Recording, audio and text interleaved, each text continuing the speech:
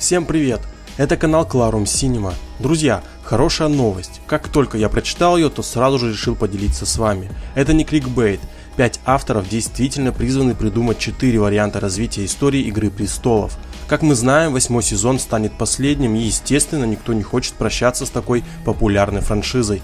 Поэтому НБО позаботился о ее будущем и намерен расширить мир, придуманный Джорджем Мартином четверо новых сценаристов, Джейн Голдман, она работала над «Звездную пыль» и «Люди Икс» первый класс, Брайан Хелгеленд, он получил Оскар за адаптированный сценарий фильма «Секреты Лос-Анджелеса», Макс Бориштейн, его работы «Конг. Остров Черепа» и сериал «Особое мнение», Карли Рэй, у нее Константин и Безумцы, сериал, и, конечно же, сам Джордж Мартин, куда без него.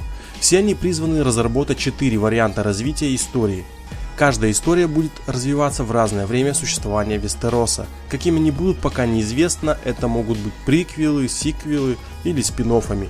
В любом случае фанаты будут рады любому исходу.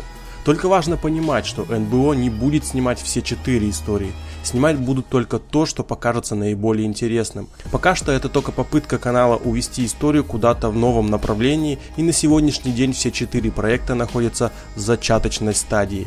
Нам остается только догадываться о том, что нас ждет, но лично я верю, что восьмой сезон это не конец и очень этому рад.